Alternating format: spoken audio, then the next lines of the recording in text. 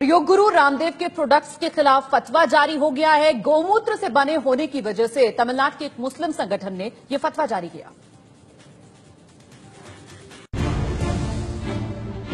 एक चम्मच गोमूत्र रोज पी लीजिए आपको ज़िंदगी में कभी भी टीबी और कैंसर जैसी बीमारियाँ नहीं होंगी।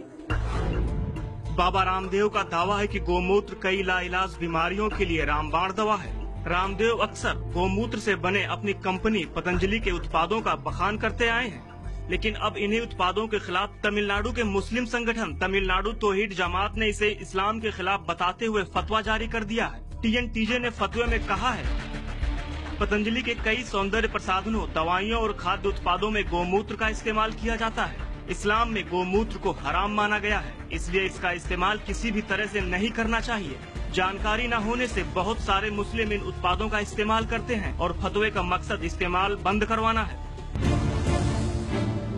तमिलनाडु तोहिद जमात के इस फतवे को बाबा रामदेव की कंपनी पतंजलि पर सीधा हमला माना जा रहा है। पतंजलि ने फतवा जारी करने वाले संगठन पर निशाना साधा है।